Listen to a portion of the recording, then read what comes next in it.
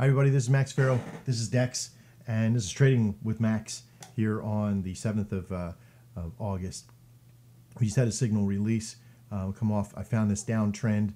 Uh, it did have a little bit of pullback to this process, did break it, but I'm not too worried about it because as it cleared into that level, I was able to see that you know we had the continuation uh, easily enough, and it started to reestablish here uh, with the downtrend, which gave me this signal right there. The only thing I'm worried about is just that little bit of uh, support level right now. I'm kind of playing with that, but that's only one tiny small thing out of uh, outside the flow. We did get in for uh, 28 bucks um, for this particular trade. Pretty powerful.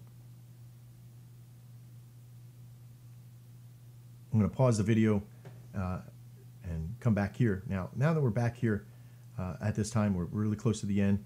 Uh, just to recap real quick, we have a downtrend um, consolidated out just a little bit from this downtrend. You know, had to pull back to uh, that particular level again. Continued on to the trend easily enough. You know, because we this level here was really worrying, but it's it's not so much of a big deal. Um, everything is down below for the MACD.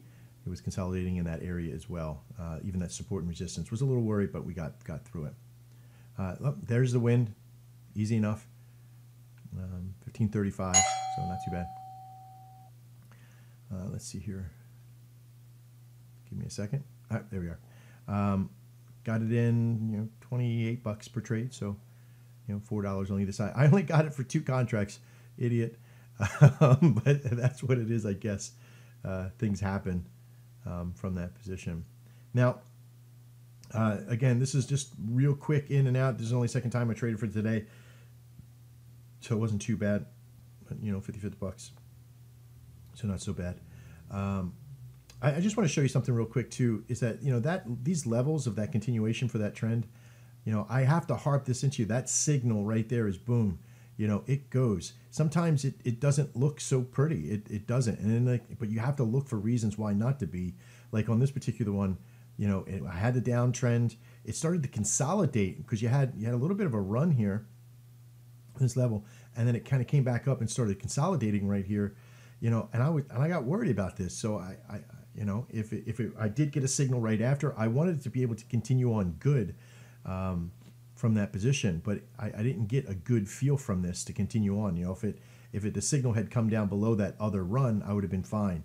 Um, you know, from compared to you know it just working out here to, you know, coming back, consolidating, pull back, and then and on board. Here, it just sort of stayed at that level and just started to, to, to consolidate and just build into that level. So I didn't I didn't want to, to do this particular signal here. Okay, so that was the reason why I didn't take that particular trade uh, compared to taking this one over here where we had the downtrend, we had the pullback, uh, and then the signal, the, the, the firing signal for continuation for the trend. Okay.